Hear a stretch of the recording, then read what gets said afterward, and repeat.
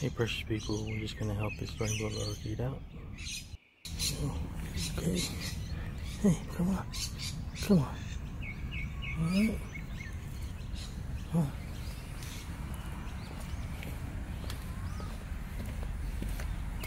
Found it on the road.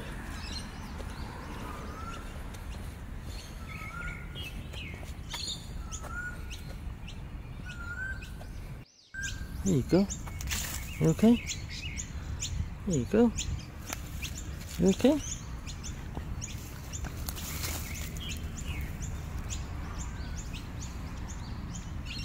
I wasn't moving on the road, so just thought I'd move it. Seems like so right now. Uh, oh, oh, oh. Okay? Did it fly? Okay. It's alright, it's okay. It's okay. It's okay. You okay? Are you, are you injured? You okay? It's alright, it's okay.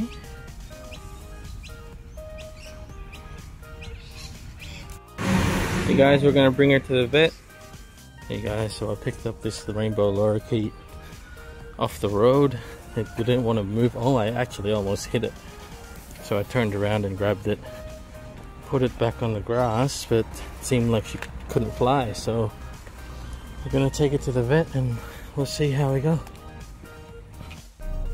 Okay guys, the rainbow lorikeet is in the car.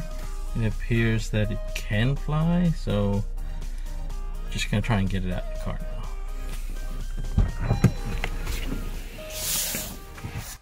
You go, come on. Come on, girl or boy. Let's go. Let's go. You're alright. Oh, you are bleeding. You're injured.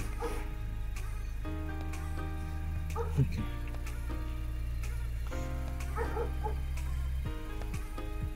Uh, so it appears that it is bleeding, so I'm still gonna take it to the vet. Hey guys, so we're on the way to the vet now. This little birdie's in the. I only just put it in a, um, a plastic bag.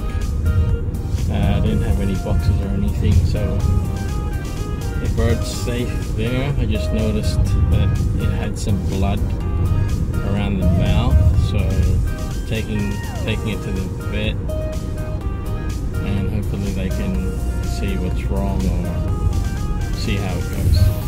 Alrighty, see you guys. Hey guys, so we're at the vet.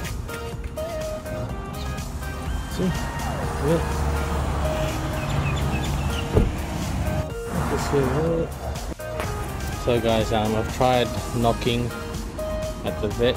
I'm gonna give it another go, and before I leave, I'm gonna just gonna leave the the bird here and give him a call later. They open at 8.30 apparently.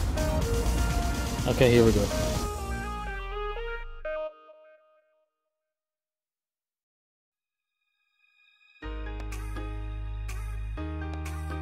Okay guys, someone just drove up.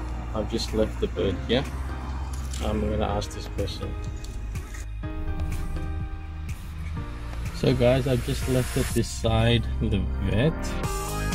Uh, it doesn't seem like it's going to move around anywhere, so I'm just going to give the vet a call when they open and let them know that it should be around the side there. There was a bit of blood around the beak and there's blood in the plastic bag as well, so I took it out of the plastic bag so it could, um, this wasn't just the best thing to do to leave it in the plastic bag, especially it's going to get hot today. Um, so I'm going to give the vet a call later on and then see how um, how it works out.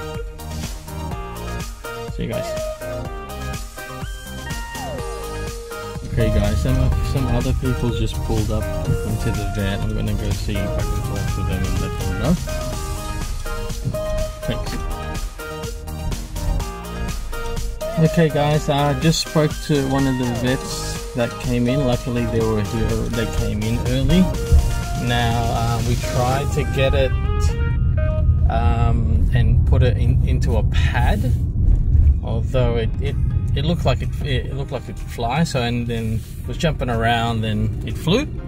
So it's on the tree now. Uh, the vet noticed the blood on the beak she said that it looked like it would have been hit, most likely by a car, and was a little startled and didn't want to move. So the vet's going to keep an eye on it on the tree, so, yeah, but it, it seems like it didn't do that much damage. She said so.